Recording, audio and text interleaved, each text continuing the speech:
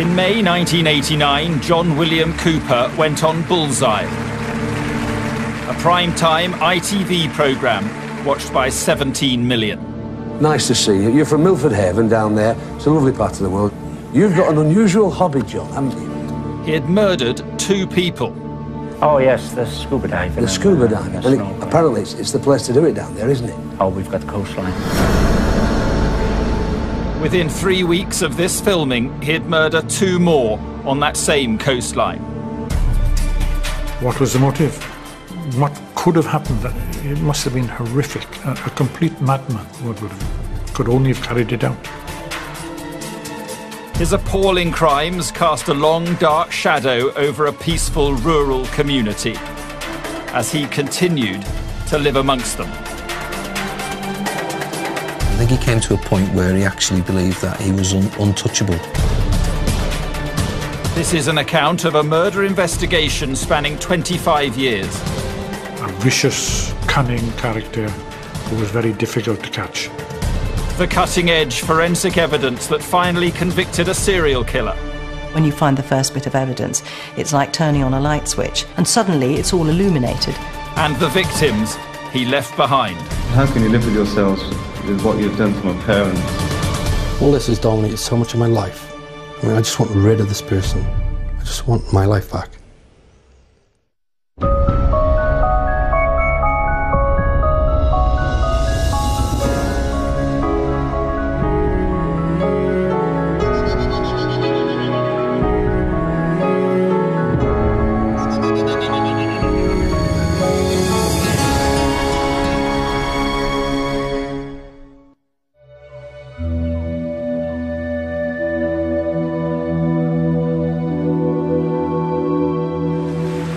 The peaceful, rural Pembrokeshire coast, West Wales.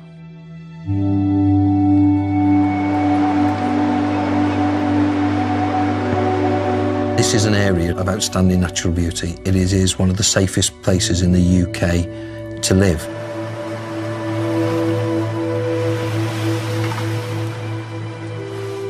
The aptly named Little Haven is a popular holiday destination and the perfect base to explore the coastline.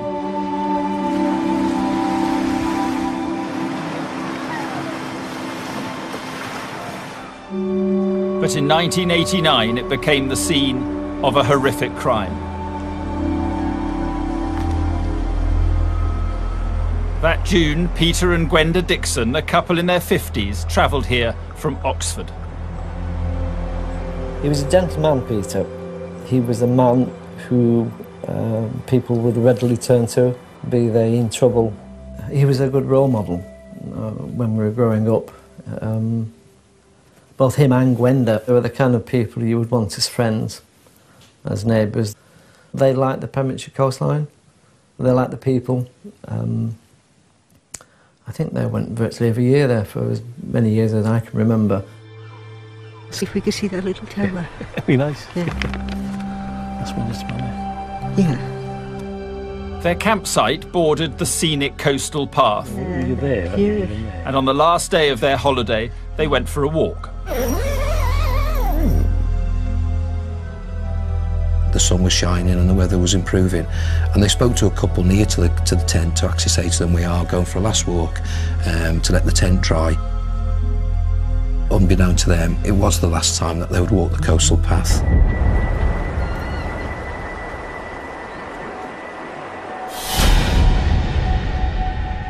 Around half a mile from the campsite, they entered a wooded area.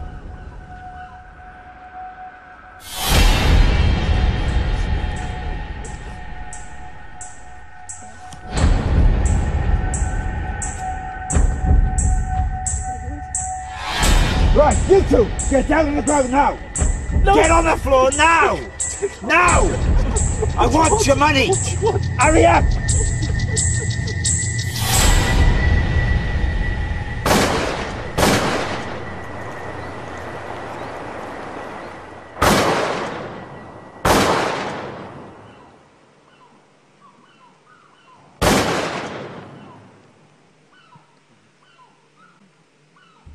Two days later, their son Tim reported them missing and police began to comb the area.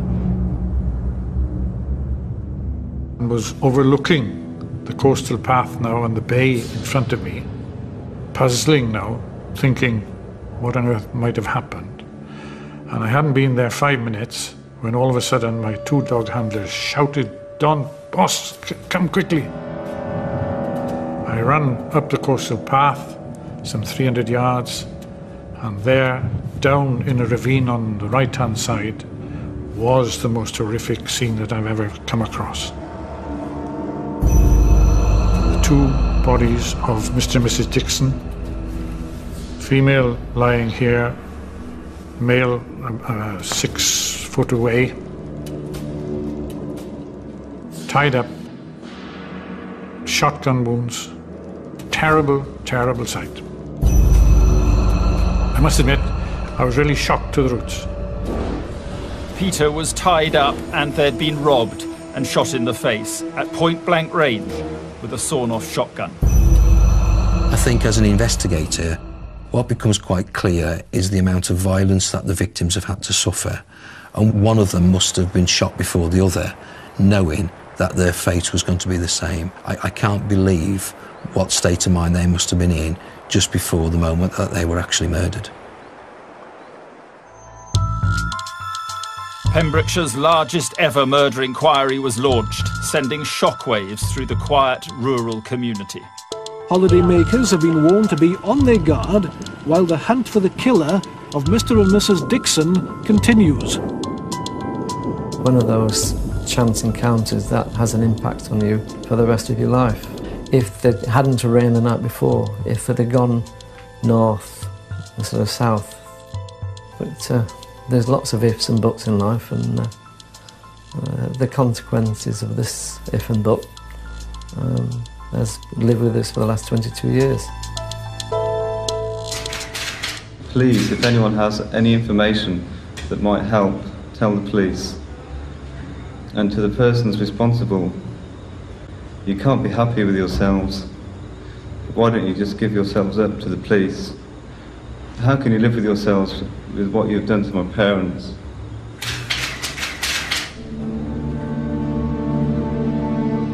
The killer had terrified Peter Dixon into giving him his PIN number, and he'd used it to withdraw £300 from cash points in the area. What was the motive? For small amounts of money gained from stealing the credit cards, three or four hundred pound, it didn't make sense at all. And to be killed in cold blood.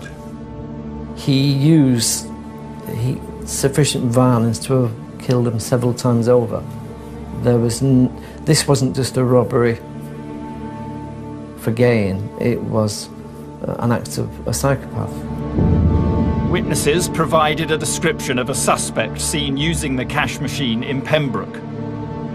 What we are appealing to the public for in relation to this individual is anyone who has seen him in the West Wales area during the past three weeks.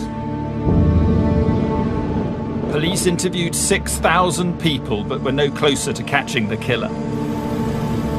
One person questioned was a local farm labourer, John William Cooper. Peter Dixon's wedding ring was uh, was missing from his uh, his body, and it was discovered that John William Cooper had actually sold a, a ring. He provided uh, an explanation that it was his wedding ring that was supported by his family. So at that stage, there was nothing else to suggest that he was actually uh, a suspect or a person of interest. What police didn't know is that Cooper had a history of violence. No one knows that better than his son, Andrew. When I was nine, um, was the first time that my father got violent with me. Uh, I'd refused to wear a pair of shorts. He wouldn't treat me like a child. He would come at me, frothing at the mouth. His eyes would be bulging. He'd expand himself. He'd clench his fists, and he would lay into me like, like I was made of rubber. He, he'd purposely bounce me off door frames and just throw me around like I was a doll. But to everyone else, when he was in the pub or out playing darts or social life, they were patting him on the back, good old Johnny. No one suspected John Cooper of the murders, and after 18 months, the inquiry was scaled down. To think that two people who came to an area that they loved to effectively to be tied up and executed, it really went beyond belief for those involved and the shockwaves you know, carried on for many, many years.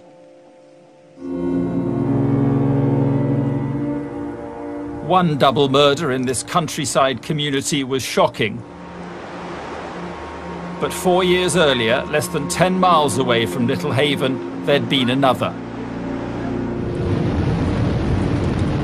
In December 1985, police were called to a house fire in Scoveston Park. Well, what you had was a, a raging fire, howling winds, heavy rain, the worst scenario you could find. Inside were the badly burnt bodies of Richard Thomas and his sister Helen. Richard had been shot in the head and stomach. Helen had been tied up and shot in the head. Obviously, there had been a deliberate attempt to set the place on fire to try and prevent any trace of who had carried out this horrible incident. The motive seemed clear a robbery gone wrong. Police believed the robber had targeted the house knowing Helen Thomas was home alone, but had been disturbed by Richard arriving and panicked. The possibility was that the persons had been killed would have known who the perpetrator was. Why kill the two people? Officers carried out standard house to house inquiries. Living less than a mile away from Scoveston Park, John William Cooper. The whole of the family gave each other an alibi in the fact that they were in the house together at the time. So, so therefore, that alibi looked quite, um, quite strong and, and, and cast iron at the time. He said the, the police were coming around asking questions about this murder and oh, if you happen to see him, he said it so casually, if you happen to see him, just say we were all doing this. You don't, you know what they're like. They're just going to annoy us otherwise. And he walked away and I thought nothing of it. All the clues were there, but I wasn't mature enough to put them together at the time. I mean, I was used to him saying something and me saying yes anyway. He didn't say no to him. John Cooper had evaded capture twice. In 1996, he would strike again. No. Get on the floor now! Hurry up! To think that one individual was confident in controlling five people and then subjecting them to an absolutely horrific attack, it speaks volumes for that individual.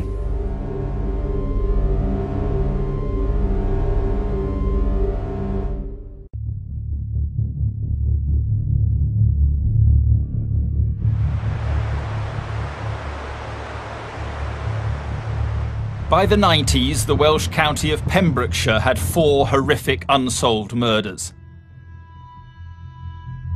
In 1985, Helen and Richard Thomas were shot dead in their home and their house set on fire. In 1989, Peter and Gwenda Dixon were executed, also by shotgun, on a bright summer's day on the coastal path near Little Haven any murder is violent, but these were particularly horrendous crimes.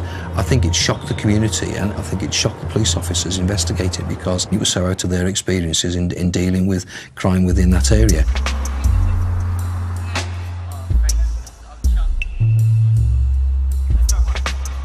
In March 1996, another violent crime left its mark on this quiet rural community.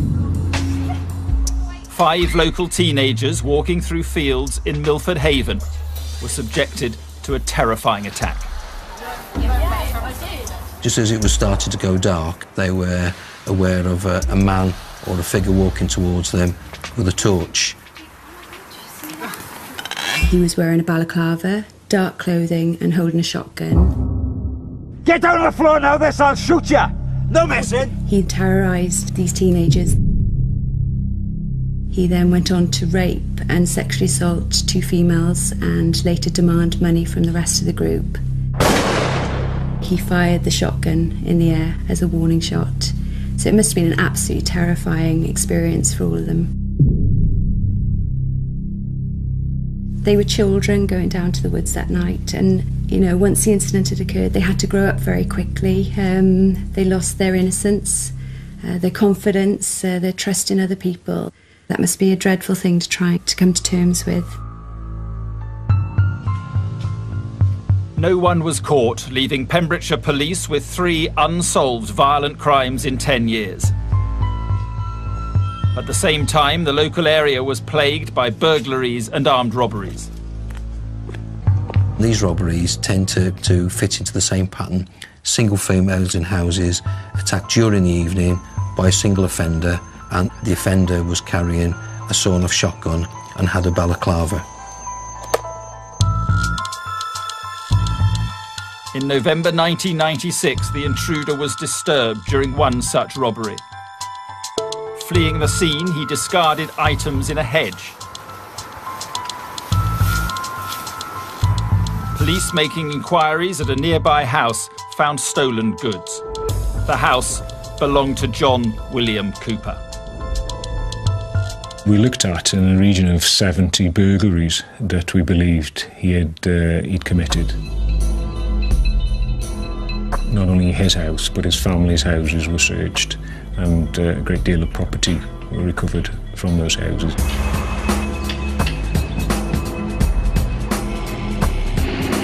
The evidence found connected him to 29 burglaries and an armed robbery, where he used a sawn-off shotgun and wore a balaclava.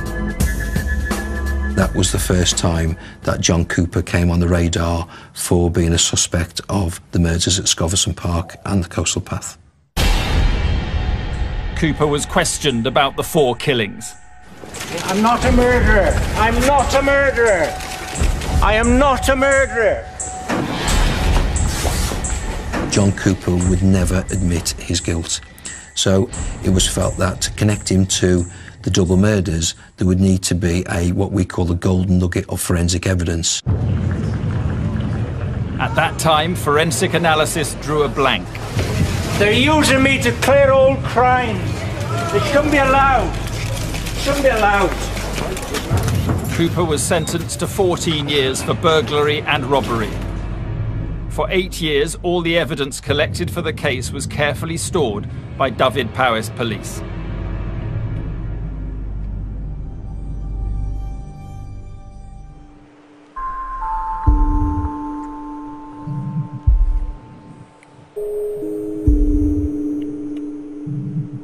2006, it was finally time to launch a cold case review of the three crimes. We were always confident that uh, John William Cooper was the prime suspect. Having said that, we were not tailoring our investigation towards an individual. It was a search for the truth.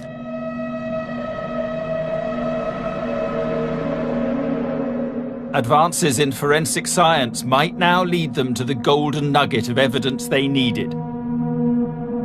But it was a daunting task. We're probably talking in, in, the end around about a million and a half to two million pieces of paper, which we have to physically go through.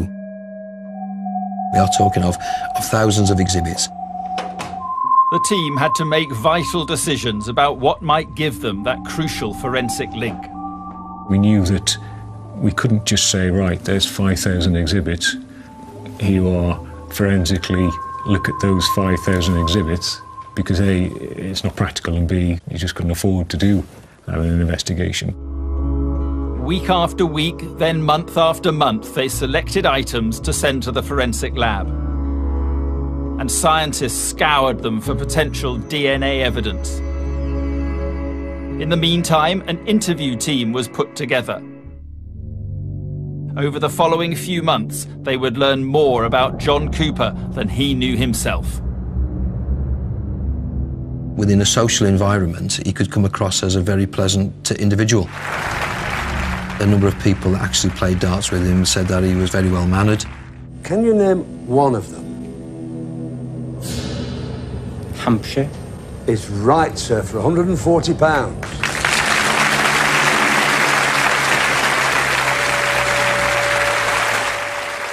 You could go into any high secure prison this afternoon and you would meet many, many charming men.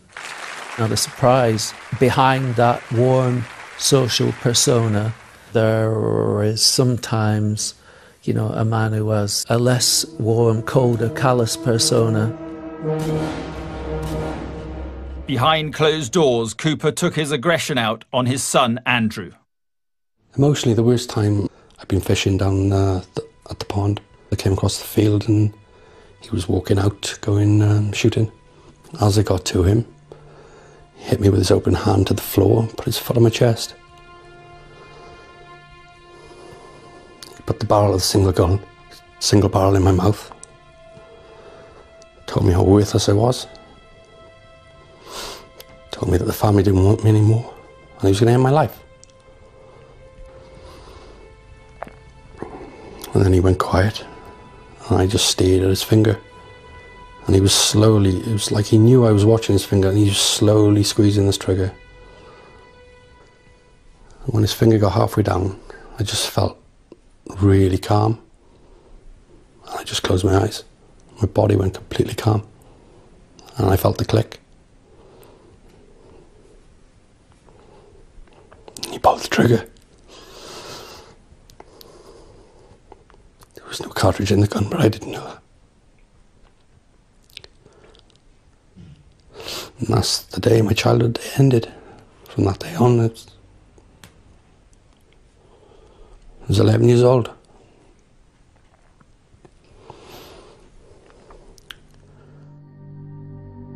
John Cooper was a gambler. Building up a picture of his background, police found out he'd won £90,000 on Spot the Ball in 1979. We didn't benefit from that money. It was all him. It was his drinking money, his gambling money. But with the drinking came more beatings. When I was 12, I don't even remember what I'd done. He got hold of me on the landing. He'd shove me in my bedroom. He'd bounce me off the walls as usual. He'd throw me on my bed. And he started punching me. He, I mean, he used to strangle me. And he held me by my neck and punched me so hard in my back that I let out a scream, but it was as if someone else was letting it out. I've now got 12 screws holding my spine together.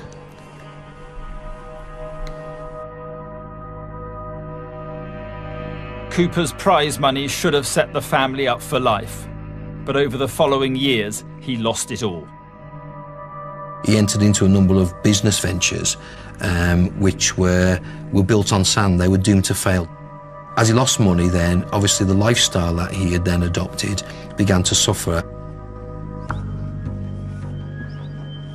That began to make sense in terms of better understanding burglaries, obviously, because he's after money, but also about risk taking and excitement to compensate for whatever else was missing in his life.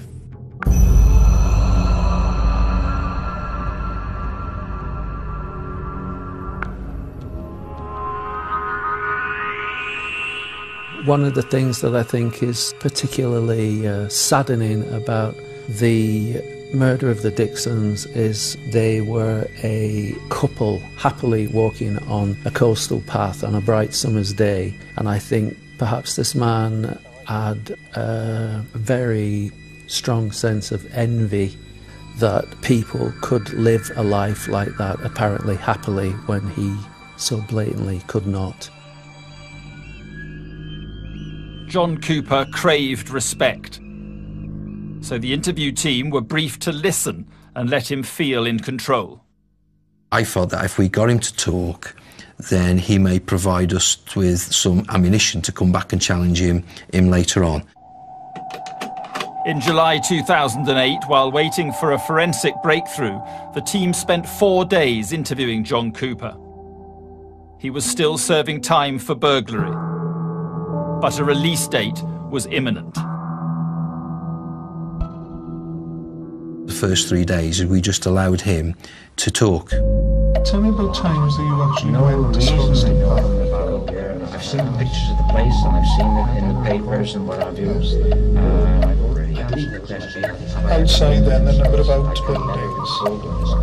Have you ever been to those outbuildings? He wasn't challenged, we just invited him to tell us about Cooper. One of the drill bits caught in, um, in the wedding ring and uh, it was well worn from working on the buildings and I nearly went over the side so most of the time my wedding ring wasn't worn by me Right. much, much to my wife's uh, Right. uh, displeasure. The team hoped that by letting Cooper talk, he would give something away. During yesterday's interview, John, Yes. you mentioned that during the trial you handled a shotgun.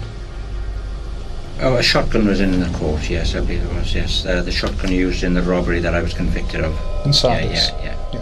They noticed Cooper kept referring to a particular shotgun that police had already identified as a potential murder weapon. Whether I handled it or not, I can't, I can't remember. He actually wrote down on a piece of paper uh, the, the Judge Morton Sardis gun destruction order.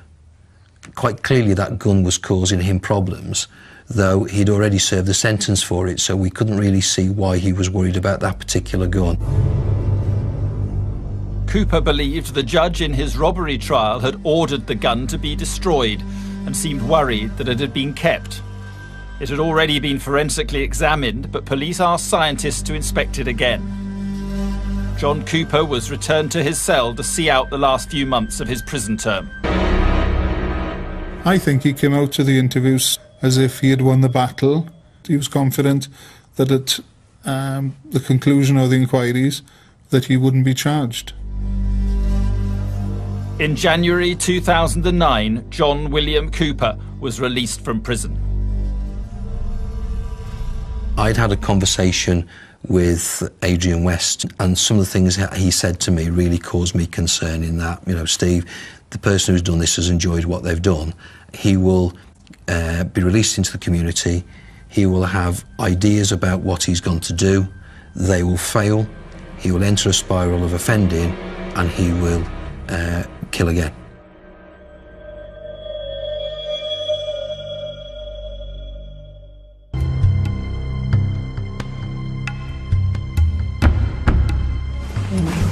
In January 2009, John William Cooper was released from prison after serving 10 years for burglary and armed robbery. I'm not a murderer. I'm not a murderer. I am not a murderer. Dyfed-Powys police believed he'd committed four shotgun murders, a rape, and a sexual assault, but had never been able to find proof. In 2006, they had launched a cold case review determined to find a forensic link in items taken from Cooper's house. We were always told by our barrister that if we had that one piece of golden forensic evidence, then we'd make our case into a very, very strong, compelling case. Two years into the inquiry, after failing to find DNA evidence, the team changed tack and started to look at clothing fibres. It is amazing. There's a huge variety of different textile fibres, and I think people don't quite realise the enormous variety there is, and therefore why it's such a good evidence type. Analysts looked at tapings from various exhibits under a microscope to identify any matching fibres. One of the items police chose for examination was a pair of John Cooper's shorts. Those shorts very much fitted the profile of uh, a, a photo fit of an offender who was seen using the cash card belonging to Peter Dixon. They were three years into the inquiry, and the team had built up a strong circumstantial case against Cooper. But they still needed a forensic link and were frustrated that nothing had been found. We'd gone for three years of, of meticulously looking at every item every day, wake up and say, right, this is the day that we're going to get the results that we're looking for.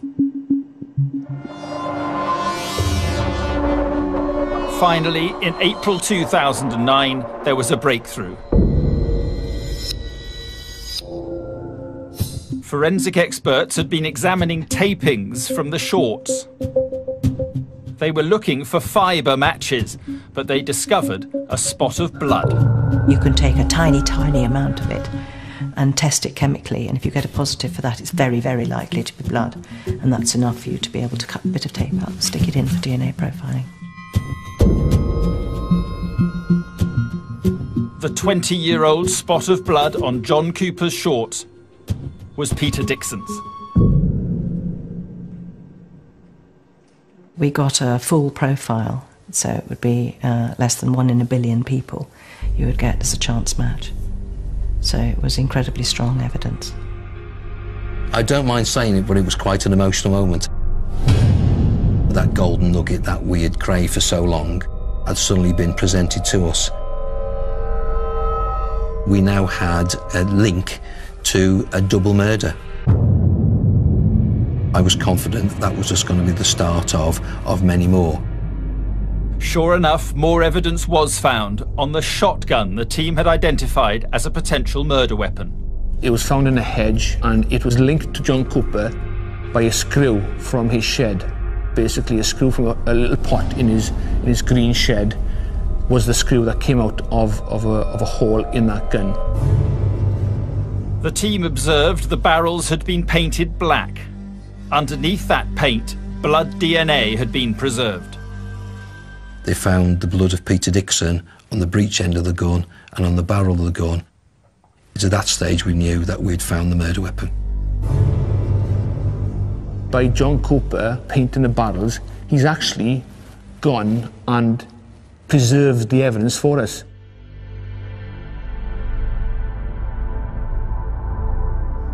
Dyfed-Powys police now had evidence that John Cooper had executed Peter and Gwenda Dixon on the coastal path near Little Haven. Even though I knew the sort of person he was, I just didn't want any of that to be true. I didn't. I mean, to kill someone for just a few hundred pound. To kill someone anyway, but... I mean, they were executed for a few hundred pound. I'm still trying to get my head around that, that one. I really am. To strengthen their case, police wanted to connect Cooper to a description of a man seen using Peter Dixon's cash card. From the Huntsman inquiry, it had been identified that he'd appeared on, on Bullseye. John and Harvey with £220, please.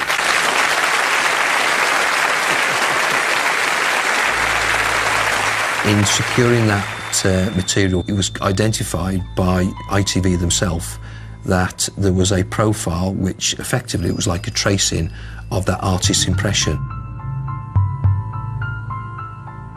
John Cooper took part in the filming of that programme just over three weeks before Peter and Gwenda Dixon were murdered. For me, that was a, a, a crucial piece of evidence. What are you going to do?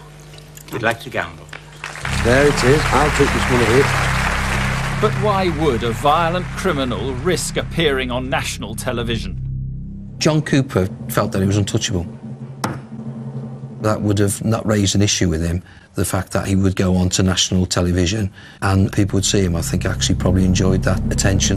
20. It attracted within the local community. And one, 26. He would have seen it as a challenge to go on. Even so, he still gambles. That's what it means, compulsive. They just can't give it up, can they? As he had done throughout his life, Cooper gambled and lost. Oh, unlucky. Just three weeks later, he murdered Peter and Gwenda Dixon.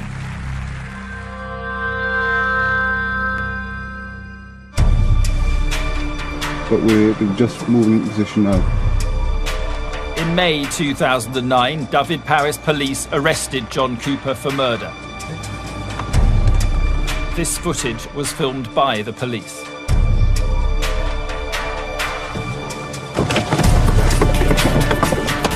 He's kicked off. He's kicked off. They're in round the corner. He's kicked off. Cooper had only been out of prison for six months, but police were relieved to have him back in custody. On his arrest, we found in his car there was a rope, there was gloves, and we're also aware that he had got an ordnance survey map of parts of Pembrokeshire. I think it was only a matter of time before he would have started to commit burglaries, go on to robberies, and I've got no doubt that had the circumstances uh, prevailed, he would have murdered again. He was taken to Haverfordwest Police Station to be interviewed. The purpose was to connect Cooper to the exhibits that had been forensically linked to the murders. During the interview, what we did, we showed him the artist's impression of the suspect who used the Dixon's cash card, and we also showed him his shorts. Would you accept that those shorts resemble the shorts in the artist's impression? Not a bit, no. Okay. But those shorts, have you ever se- sorry, have you ever seen the shorts in this photograph TWB1 before? I believe those are my bathers, actually. Okay. because he thought that we were looking for the similarities in those shorts to the artist's impression. He happily admitted that the shorts were his shorts, and you know, and that for us was key. Then, without realizing, Cooper incriminated himself further. Those are long-legged shorts. You're pointing the difference then, you say that they're not similar and that they're longer on the artist's Well, those are short-leg shorts. I, that's long-legged shorts. Police asked forensic scientists to examine the shorts again. They had been shortened, possibly by Cooper's wife. They unstitched the hem, and inside the hem, they found a DNA profile which matched Julie Dixon, who was the daughter of Gwendolyn Peter Dixon. We believed then is that those shorts probably were taken from Peter Dixon's rucksack. Because there would have been no other reason as to how Julie's DNA came onto those shorts under the hem. Cooper had kept the shorts for 10 years. I think it, it gives us an insight into John Cooper as an individual. I think that's part and parcel of Cooper was that control element that he had things, memento, to remind him of his offending. Soon, forensic scientists began to uncover fibre matches. You very, very rarely find any fibres that match. And where you do, it's really only one or two fibres. So if you find them in number, it means something. If you find them in combination, it means something. If you find two-way transfer, it all means something.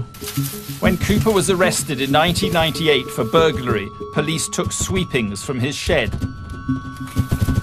Fibres were found in those sweepings from gloves and a balaclava left in a hedge near Cooper's house.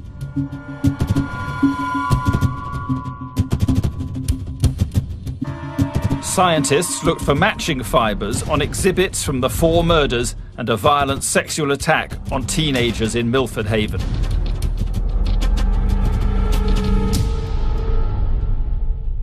As time started to, to unfold, virtually on a daily basis, we were having phone calls. Fibres from gloves that he abandoned were found in the clothing and underwear of the rape victim from the Milford Haven attack. Fibres from that one of those gloves was found in the sewn hem of the shorts that we recovered from his house. Fibres found in the pockets of those shorts were linked to fibres found on the, the, the socks of Richard Thomas from the Scoveston murders. Cooper's habit of storing and reusing his offending toolkit meant fibres from each crime could be traced back to him. Faced with the forensic evidence, Cooper still refused to admit his guilt, even pointing the finger at his own son. Have you any explanation to give as to how that blood could have innocently appeared on the shorts? I really do not know. As I said, my wife sourced the shorts. Maybe from Percy, maybe from a shop. I don't know. Wherever she sourced. Uh, more worryingly is my son used to take my clothes whenever he wanted it, and that would be more of a worry for a father. I couldn't believe it. I was gobsmacked. I think that of all the things he's done to me, I think that was the lowest thing I ever saw him do. That was a hard, hard thing to hear your own father say about you. I believe that you're responsible for the murder of Helen and Richard Thomas and also the murders of Gwenda and Peter Dixon. All I can say is I'm sorry if you've got that opinion, but you're totally wrong. When I've pushed him a bit on um, how he always blamed everybody else for everything that's ever gone wrong in his life, it's sort of flicked a bit of a switch within him, I think, and that's the time we've seen the sort of different side to him. You're making things try to fit to John Cooper, and it's bloody annoying. We got this forensic That's- evidence, it all comes back. You I know, just- the young lady, I you- once said, you're trying to make things fit. I tried to put you and give you information that you can check. You choose, you, you all, and your colleagues, and them in there, choose not to believe it. The time now is 17.01 and no further questions. I'm turning the tape recorder off. Cooper was held in custody until the trial, where his many victims hoped finally to see justice. I know the levels of violence he can use. And it horrifies me that he's used them on other people. All this has dominated so much of my life, but I'm still having to go through this. I mean, I just want rid of this person. I just want my life back.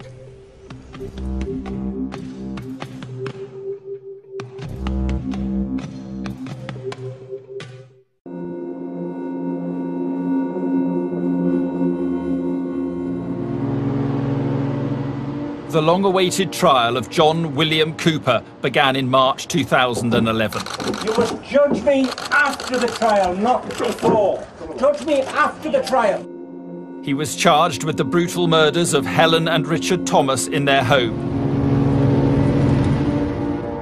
Peter and Gwenda Dixon on the Pembrokeshire coastal path. And an attack on five teenagers in Milford Haven involving the rape of a 16 year old girl and the indecent assault of another. Even faced with substantial evidence, he would never admit his involvement in anything. I'm disgusted that he, he won't give some closure to, to uh, people out there. I'm disgusted. The trouble with the bully is, beating you is only half of their pleasure. The other half of their pleasure is knowing that you're scared of them for the rest of your life. And I believe that's what he's doing to these victims by not telling them. Just get on the floor! Dyfed-Powys police showed the jury the complex forensic evidence they'd spent years uncovering. Cooper had kept mementos of his offending that connected him to all of the crimes. When you look at those links, it's quite a compelling forensic link. John Cooper to all those offences. 15 years on, the two girls who were raped and sexually assaulted described their experience to the jury.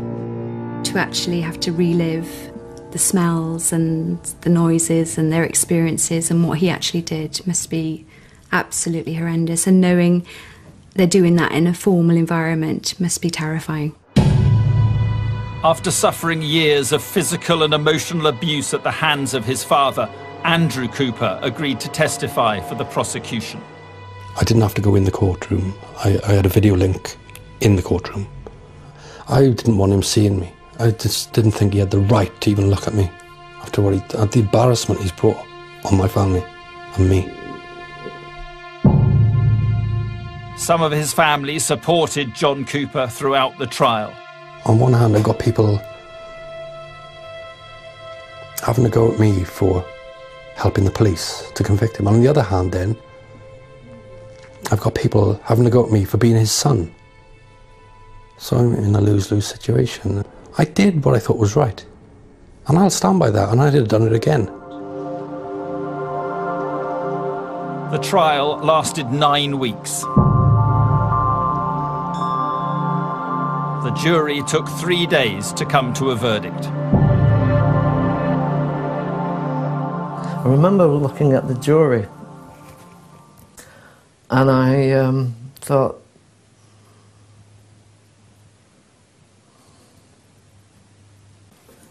what they had to see and listen to would probably stay with them for the rest of their lives. The photographs, the consequences of what a 12 bore shotgun will do at close range. No human being should see that. See some of the jury members crying, uh, holding hands, uh, it was quite, quite something, which I'll probably never ever experience again in my career. Cooper was found guilty on all charges. To quote the judge, the murders were of such evil wickedness that the mandatory sentence of life will mean just that. The impact was quite phenomenal. Um, none of us could speak, I don't think, for a few minutes. Cooper is where he belongs. We had a debt of gratitude towards Steve Wilkins and his team that I don't suppose we'll ever repay. And uh, the community has a debt of gratitude as well. I think for the public, it's a great thing he's behind bars. For me, even, it's where he belongs. It's, he's got to pay the price for what he's done. Just wish it had happened sooner. There was a dark shadow that was hanging over us. That person responsible for those offences was living amongst us. The fact that we were in a position to take Cooper to court, to secure that conviction and secure that conviction with overwhelming evidence, I think has lifted that dark cloud which has hung over us for many years.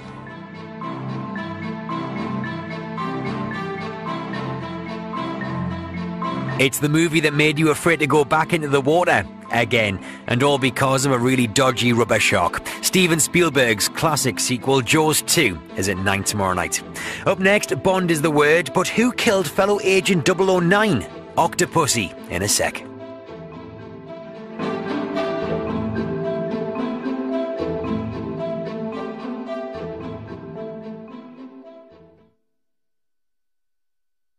Wasn't worn by me, Right. much, much to my wife's uh, Right. uh, displeasure.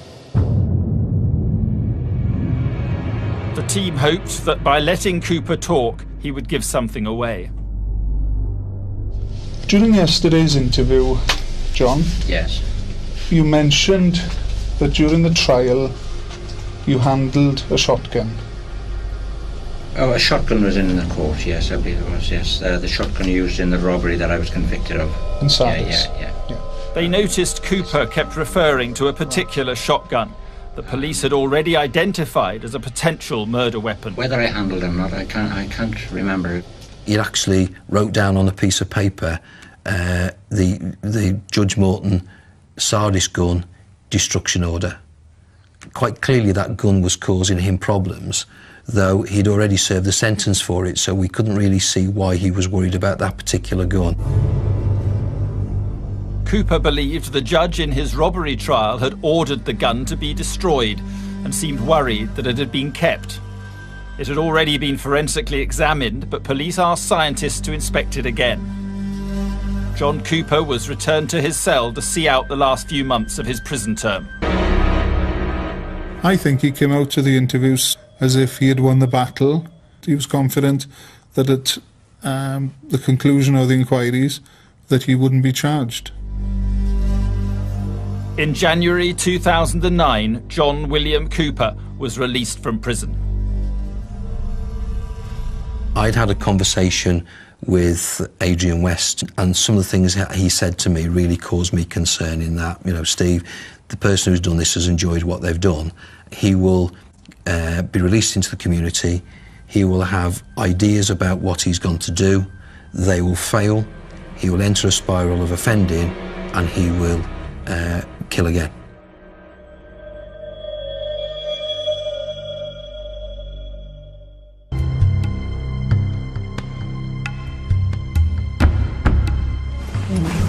In January 2009, John William Cooper was released from prison after serving 10 years for burglary and armed robbery.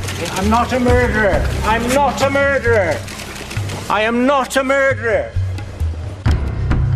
Dyfed-Powys police believed he'd committed four shotgun murders, a rape, and a sexual assault, but had never been able to find proof. In 2006, they had launched a cold case review determined to find a forensic link in items taken from Cooper's house.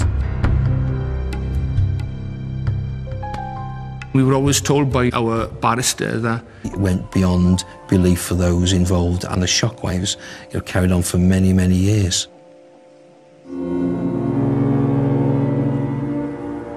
One double murder in this countryside community was shocking.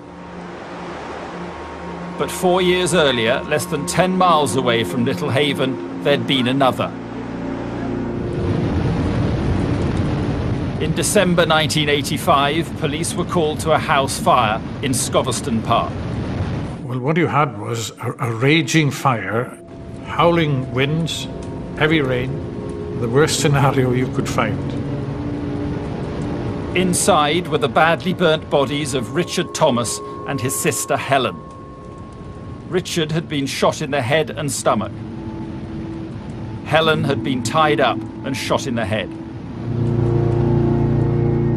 Obviously, there had been a deliberate attempt to set the place on fire to try and prevent any trace of who had carried out this horrible incident. The motive seemed clear a robbery gone wrong. Police believed the robber had targeted the house knowing Helen Thomas was home alone, but had been disturbed by Richard arriving and panicked. The possibility was that the persons had been killed would have known who the perpetrator was. Why kill the two people? Officers carried out standard house to house inquiries. Living less than a mile away from Scoveston Park, John William Cooper. The whole of the family gave each other an alibi in the fact that they were in the house together at the time. So, so therefore, that alibi looked quite, um, quite strong and, and, and cast iron at the time. He said the, the police were coming around asking questions about this murder and oh, if you happen to see him, he said it so casually, if you happen to see him, just say we were all doing this. You don't, you know what they're like. They're just going to annoy us otherwise. And he walked away and I thought nothing of it. All the clues were there, but I wasn't mature enough to put them together at the time. I mean, I was used to him saying something and me saying yes anyway. He didn't say no to him. John Cooper had evaded capture twice. In 1996, he would strike again. Get on the floor now! Hurry up!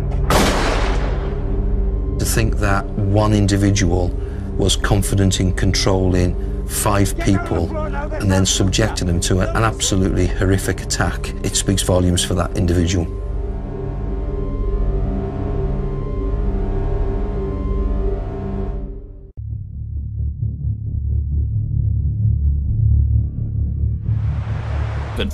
were subjected to a terrifying attack. Just as it was starting to go dark, they were aware of a, a man or a figure walking towards them with a torch. He was wearing a balaclava, dark clothing, and holding a shotgun. Get down on the floor now, this I'll shoot you! No messing! He terrorised these teenagers. He then went on to rape and sexually assault two females and later demand money from the rest of the group. He fired the shotgun in the air as a warning shot, so it must have been an absolutely terrifying experience for all of them. They were children going down to the woods that night, and you know, once the incident had occurred, they had to grow up very quickly. Um, they lost their innocence, uh, their confidence, uh, their trust in other people. That must be a dreadful thing to try to come to terms with. No one was caught, leaving Pembrokeshire police with three unsolved violent crimes in 10 years. At the same time, the local area was plagued by burglaries and armed robberies. These robberies tend to, to fit into the same pattern. Single females in houses, attacked during the evening by a single offender, and the offender was carrying a sawn-off shotgun and had a balaclava. In November 1996, the intruder was disturbed during one such robbery. Fleeing the scene, he discarded items in a hedge. Police making inquiries at a nearby house found stolen goods. The house belonged to John William Cooper. We looked at in a region of 70 burglaries that we believed he had uh, he'd committed. Not only his house, but his family's houses were searched, and uh, a great deal of property were recovered from those houses.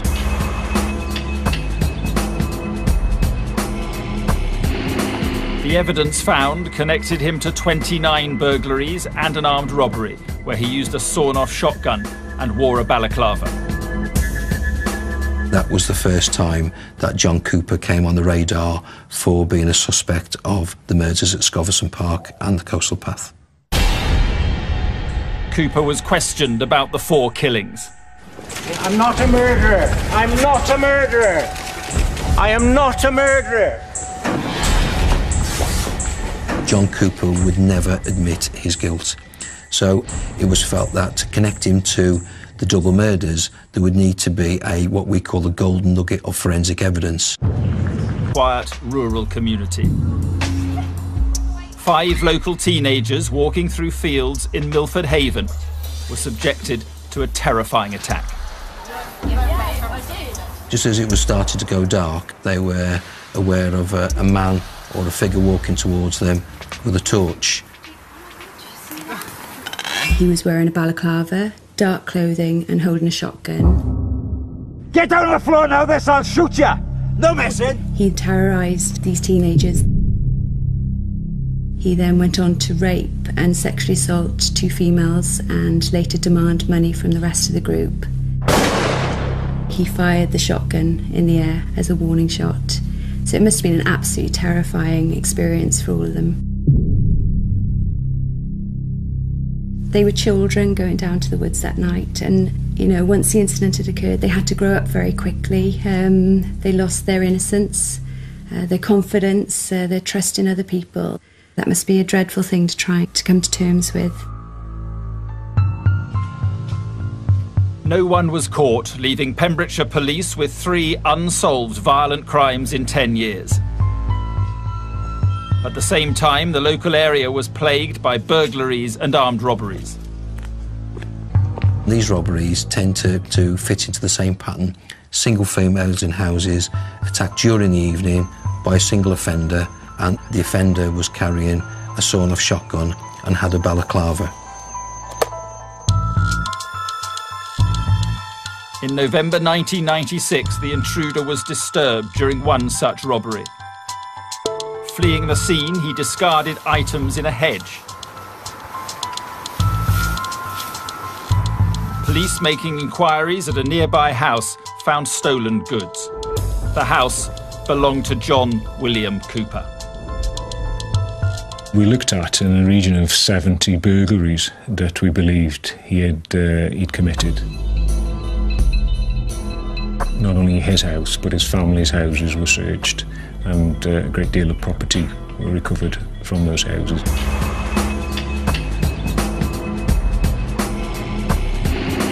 The evidence found connected him to 29 burglaries and an armed robbery, where he used a sawn off shotgun and wore a balaclava.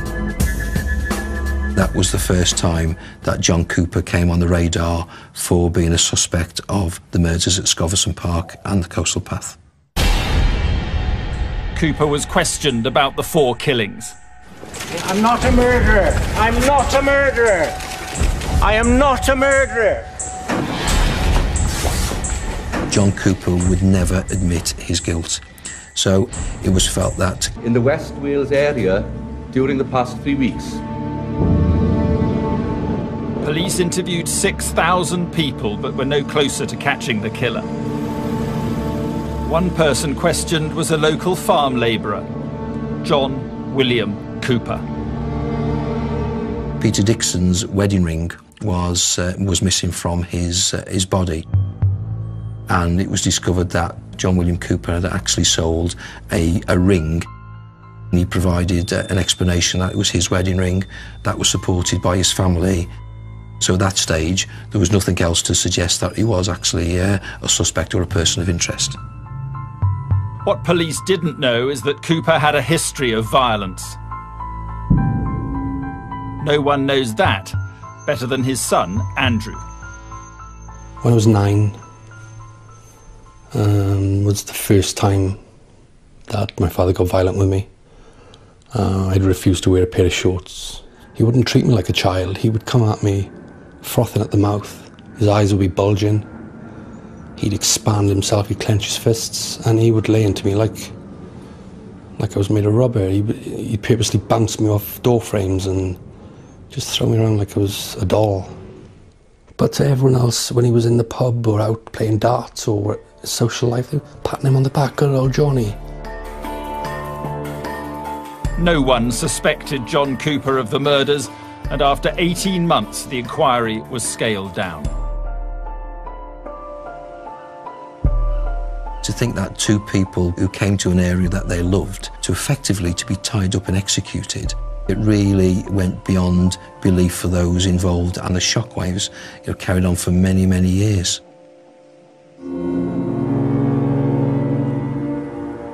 One double murder in this countryside community was shocking. But four years earlier, less than 10 miles away from Little Haven, there'd been another. In December 1985, police were called to a house fire in Scoveston Park. Well, what you had was a, a raging fire, howling winds, heavy rain, the worst scenario you could find. Inside were the badly burnt bodies of Richard Thomas and his sister Helen. Richard had been shot in the head and stomach. Helen had been tied up and shot in the head. Obviously, there had been a deliberate attempt to set the place on fire to try and prevent any trace of who had carried out this horrible incident. The motive seemed clear a robbery gone wrong. He lost it all. He entered into a number of business ventures um, which were, were built on sand. They were doomed to fail. As he lost money, then obviously the lifestyle that he had then adopted began to suffer.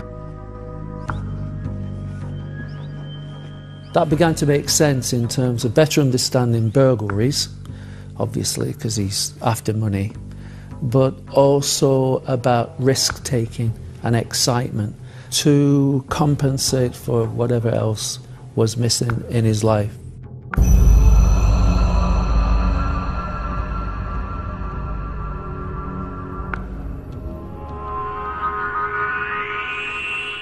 One of the things that I think is particularly uh, saddening about the murder of the Dixons is they were a couple happily walking on a coastal path on a bright summer's day. And I think perhaps this man had a very strong sense of envy that people could live a life like that apparently happily when he so blatantly could not. John Cooper craved respect. So the interview team were briefed to listen and let him feel in control. I felt that if we got him to talk, then he may provide us with some ammunition to come back and challenge him, him later on. In July 2008, while waiting for a forensic breakthrough, the team spent four days interviewing John Cooper. He was still serving time for burglary but a release date was imminent. The first three days, we just allowed him to talk. Tell me about times that you actually no went to Scoveston I've seen the pictures of the place and I've seen it in the papers and what have you. Uh, I've already answered the question. Outside then, the number of outbuildings. Have you ever been to those outbuildings? He wasn't challenged. We just invited him to tell us about Cooper. One of the drill bits caught in um, in the wedding ring, and uh, it was well worn from working on the buildings, and I nearly went over the side. So most of the time, my wedding ring wasn't worn by me, right. much, much to my wife's uh, right. uh, displeasure. The team hoped that by letting Cooper talk, he would give something away. During yesterday's interview, John, Yes. you mentioned that during the trial you handled a shotgun.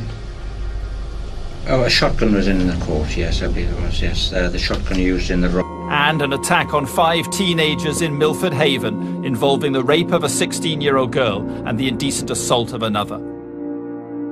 Even faced with substantial evidence, he would never admit his involvement in anything. I'm disgusted that he, he won't give some closure to, to uh, people out there. I'm disgusted. The trouble with the bully is, beating you is only half of their pleasure. The other half of their pleasure is knowing that you're scared of them for the rest of your life. And I believe that's what he's doing to these victims by not telling them. Just get on the floor!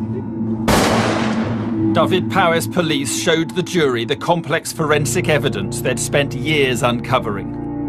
Cooper had kept mementos of his offending that connected him to all of the crimes. When you look at those links, it's quite a compelling forensic link.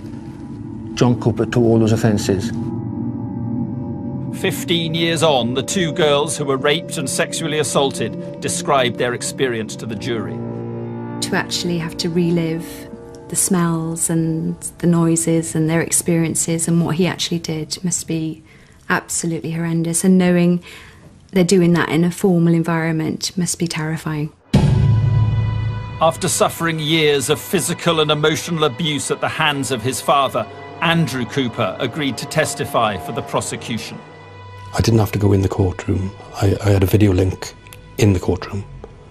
I didn't want him seeing me. I just didn't think he had the right to even look at me after what he, at the embarrassment he's brought on my family and me. Some of his family supported John Cooper throughout the trial. On one hand, I've got people having to go at me for helping the police to convict him. On the other hand, then, I've got people having to go at me for being his son. So I'm in a lose-lose situation. I did what I thought was right. And I'll stand by that, and I'd have done it again. The trial lasted nine weeks. The jury took three days to come to a verdict. I remember looking at the jury and I um, thought,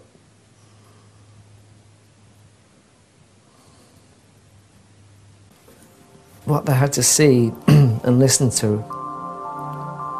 would probably stay with them for the rest of their lives. The photographs, the consequences of what a 12 bore shotgun will do at close range. No human being should see that. To see some of the jury members. I couldn't believe it. I was gobsmacked. I think that of all the things he's done to me, I think that was the lowest thing I ever saw him do. That was a hard, hard thing to hear your own father say about you. I believe that you're responsible for the murder of Helen and Richard Thomas and also the murders of Gwenda and Peter Dixon. All I can say is I'm sorry if you've got that opinion, but you're totally wrong.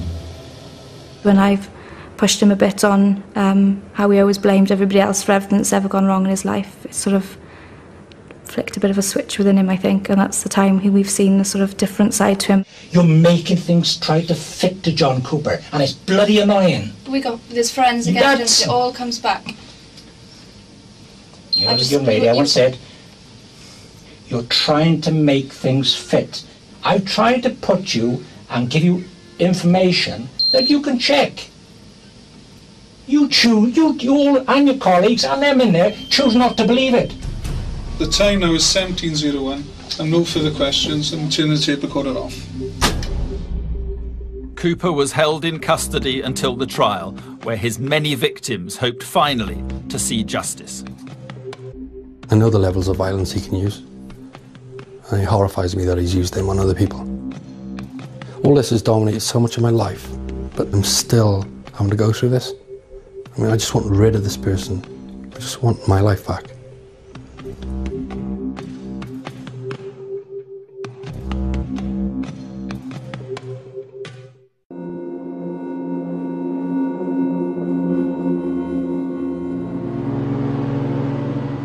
The long-awaited trial of John William Cooper began in March 2011. You must judge me after the trial, not before. Judge me after the trial. He was charged with the brutal murders of Helen and Richard Thomas in their home. Peter and Gwenda Dixon on the Pembrokeshire coastal path. And an attack on five teenagers in Milford Haven involving the rape of a 16 year old girl and the indecent assault of another. Even faced with substantial evidence, he would never admit his involvement in anything. I'm disgusted that he, he won't give some closure to, to uh, people out there. I'm disgusted. The trouble with the bully is, beating you is only half of their pleasure. The other half of their pleasure is knowing that you're scared of them for the rest of your life. And I believe that's what he's doing to these victims by not telling them. Just get on the floor! He said the, the police were coming around asking questions about this murder and oh, if you happen to see him, he said it so casually, if you happen to see him, just say we were all doing this. You don't, you know what they're like. They're just going to annoy us otherwise. And he walked away and I thought nothing of it. All the clues were there, but I wasn't mature enough to put them together at the time. I mean, I was used to him saying something and me saying yes anyway. He didn't say no to him. John Cooper had evaded capture twice. In 1996, he would strike again. Get on the floor now! Hurry up! To think that one individual was confident in controlling five people and then subjecting them to an absolutely horrific attack, it speaks volumes for that individual.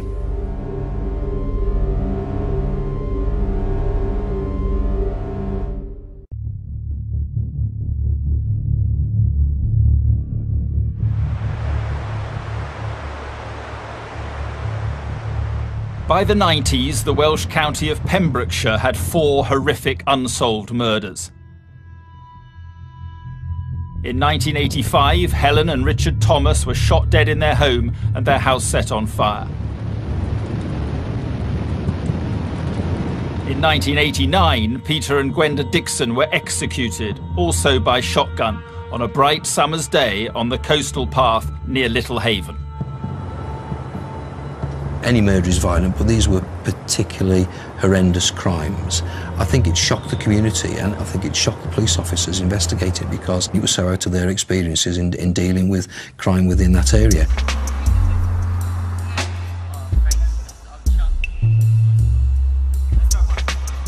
In March 1996, another violent crime left its mark on this quiet rural community. Five local teenagers walking through fields in Milford Haven were subjected to a terrifying attack. Just as it was starting to go dark, they were aware of a, a man or a figure walking towards them with a torch. He was wearing a balaclava, dark clothing, and holding a shotgun. Get down on the floor now, this I'll shoot you! No messing! He terrorised these teenagers. He then went on to rape and sexually assault two females and later demand money from the rest of the group. He fired the shotgun in the air as a warning shot, so it must have been an absolutely terrifying experience for all of them. They were children going down to the woods that night, and you know, once the incident had occurred, they had to grow up very quickly. Um, Not a murderer! I am not a murderer! John Cooper would never admit his guilt. So it was felt that to connect him to the double murders, there would need to be a what we call the golden nugget of forensic evidence. At that time, forensic analysis drew a blank. They're using me to clear old crimes. They shouldn't be allowed. Shouldn't be allowed. Cooper was sentenced to 14 years for burglary and robbery. For eight years, all the evidence collected for the case was carefully stored by Dyfed-Powys police.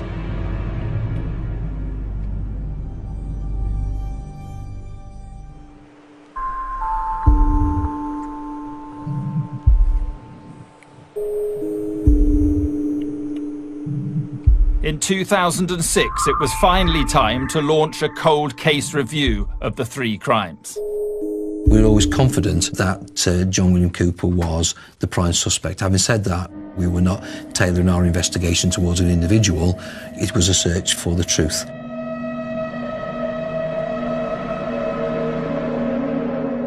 Advances in forensic science might now lead them to the golden nugget of evidence they needed. But it was a daunting task. We're probably talking in, in the end around about a million and a half to two million pieces of paper, which we have to physically go through. We are talking of, of thousands of exhibits. The team had to make vital decisions about what might give them that crucial forensic link. We knew that we couldn't just say, right, there's 5,000 exhibits. Here you are, forensically look at those 5,000 exhibits because A, it's not practical, and B, you just couldn't afford to do uh, an investigation. Week after week, then month after month, they selected items to send to the forensic lab. And scientists scoured them for potential DNA evidence. In the meantime, an interview team was put together. Over the following few months, they would learn more about John Cooper than he knew himself. Within a social environment, he could come across as a very pleasant individual. A number of people that actually played darts with him said that he was very well mannered. Can you name one of them? Hampshire. Is right, sir, for £140.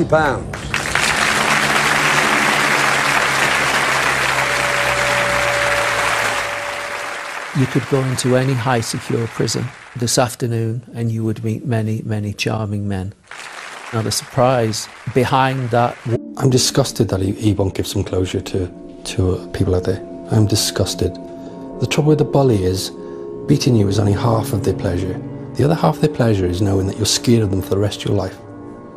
And I believe that's what he's doing to these victims by not telling them. Just get on the floor! Dyfed-Powys police showed the jury the complex forensic evidence they'd spent years uncovering. Cooper had kept mementos of his offending that connected him to all of the crimes. When you look at those links, it's quite a compelling forensic link. John Cooper to all those offences. Fifteen years on, the two girls who were raped and sexually assaulted described their experience to the jury. To actually have to relive the smells and the noises and their experiences and what he actually did must be absolutely horrendous. And knowing they're doing that in a formal environment must be terrifying. After suffering years of physical and emotional abuse at the hands of his father, Andrew Cooper agreed to testify for the prosecution. I didn't have to go in the courtroom. I, I had a video link in the courtroom. I didn't want him seeing me. I just didn't think he had the right to even look at me after what he, uh, the embarrassment he's brought on my family and me. Some of his family supported John Cooper throughout the trial. On one hand, I've got people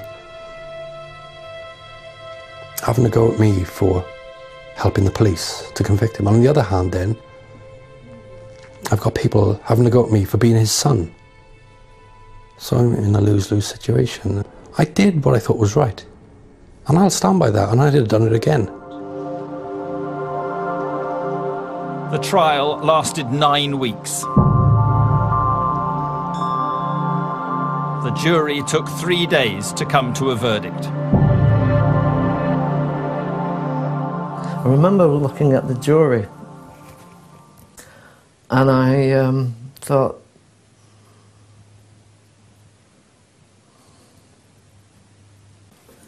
what they had to see and listen to would probably stay with them for the rest of their lives. The photographs, the consequences of what a 12 bore shotgun will do at close range. No human being should see that. To see some of the jury members crying, uh, holding hands, uh, it was quite, quite something, which I'll probably never ever experience again in my career. Cooper was found guilty on all charges. To quote the judge, the murders were of such evil